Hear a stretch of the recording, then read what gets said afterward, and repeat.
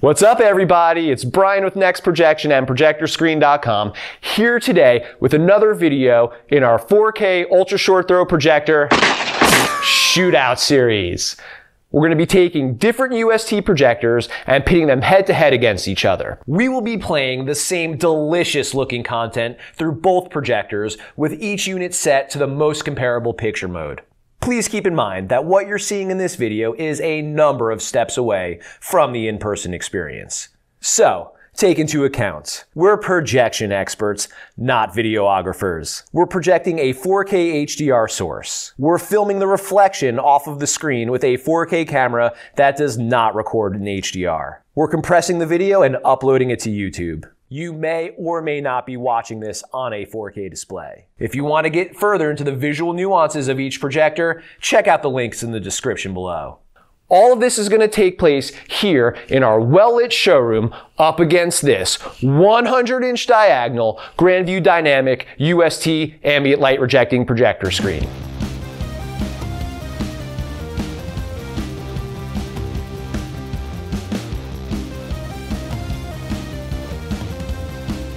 This shootout video today is going to be pitting the number one best-selling UST out there, the Optoma CinemaX P2, up against a relative newcomer, the Epson LS500.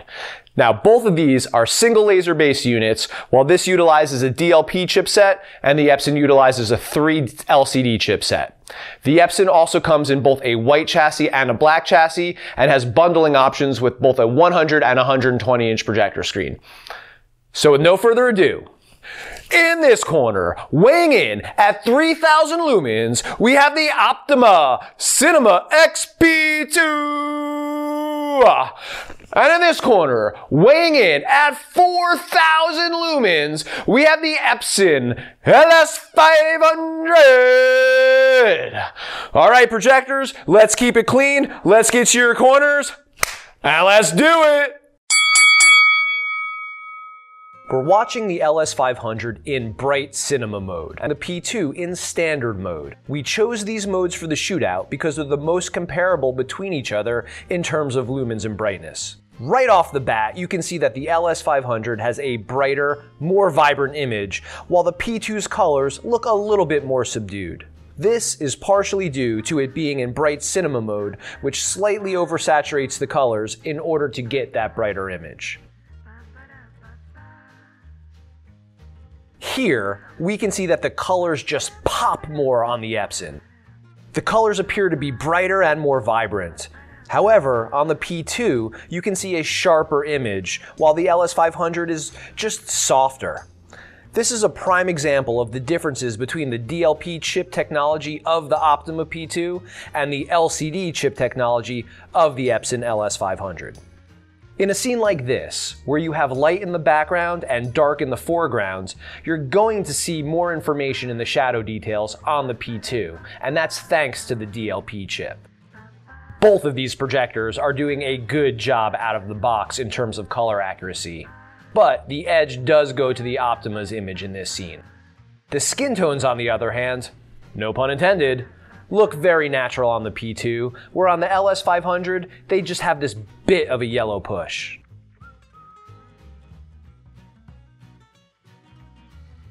In this scene, both images look good, though the Epson is definitely more vibrant. One thing I notice is that there's some banding on the bottom of the plate from the Epson's image, and there, there's just this splotchiness to it, where the P2 just seems to have better gradation.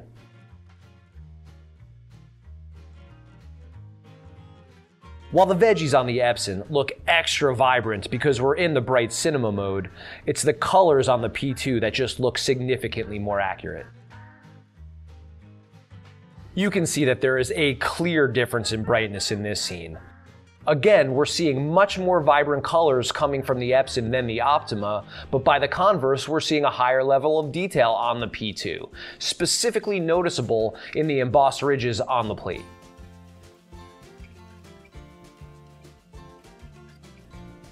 This scene has a certain wow factor from the Epson. You have the white background being handled very well and not blowing anything out, while in the darker foreground, the Epson is still presenting a lot of pop. With the Optoma, you're getting a little sharper line detail, but when you do the A-B comparison between the two, the colors just look muted. The sharpness of the Optoma's DLP chip really shows its superiority in the ice and in the caviar. On the Epson, those two elements just somewhat blend together. The motion handling of both of these units is really good. It feels like the scenes where there are vibrant colors, the Epson is handling them better, while with the more muted scenes, the Optoma has the edge. In this scene, both projectors are doing an excellent job with all of the textures but I still have to give the nod to the Optoma in terms of overall level of detail. The LS500 definitely has more of a wow factor here in terms of the color. However, with the Optoma and its higher level of detail, you can more clearly see the individual pieces of fruit. Contrast is looking good on both of these. The vibrancy of the Epson really gives more life to this image. Alright, so now let's compare the specs. When it comes to brightness, the LS500 absolutely has the edge. It beats the Optoma P2 by 1000 lumens and dominates the entire class, outshining all of the other USTs out there. When it comes to throw ratio, the Optoma absolutely wins this. What does that mean? Well, it means the Optoma can be positioned much closer to the screen than the Epson to make the same image size. One of the main differences is that the P2 uses a 0.47 inch DLP chipset, while Epson's image is powered by a 3 chip LCD. I give the P2 the edge here because the DLP offers a sharper image. However, if you are at all susceptible to the rainbow effect, then the Epson absolutely is the way to go. Both projectors are using a single laser light source, so neither one really has an edge in this regard. While it may not be evident in the video that we shot, when it comes to color, the LS500 is good, but just not as good as the P2.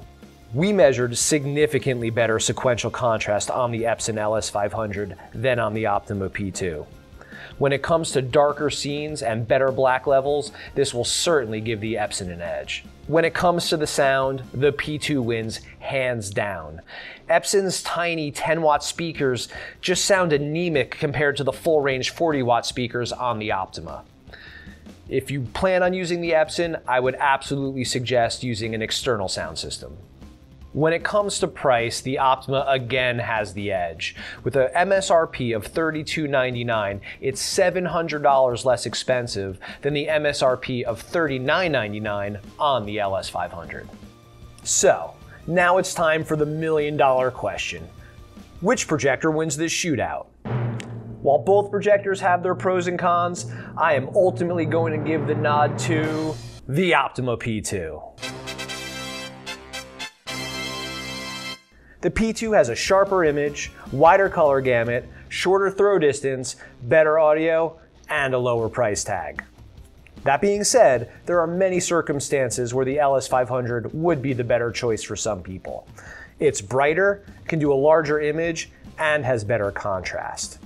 The LS500 is also the ideal UST for serious gamers, as it has the lowest lag time of any of the USTs out there right now, clocking in at under 17 milliseconds.